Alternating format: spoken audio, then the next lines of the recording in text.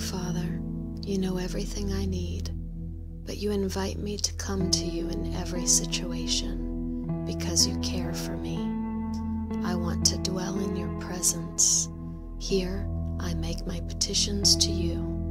Your will be done. I praise and thank you for everything you have already done. Thank you for creation. Thank you for the cross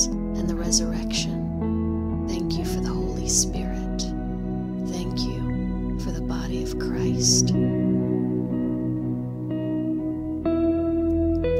also thank you for what you will do, for each and every promise in your word. I cling to your promises with hope and expectancy. Thank you that you have a wonderful plan for my life. God, let your peace, which transcends all understanding, guard me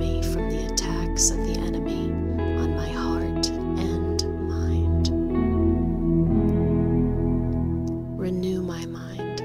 Replace unhealthy, harmful thoughts with the truth from your word. I choose not to think upon harmful thoughts. I choose to think about what is true, noble, right, pure, lovely, admirable, excellent,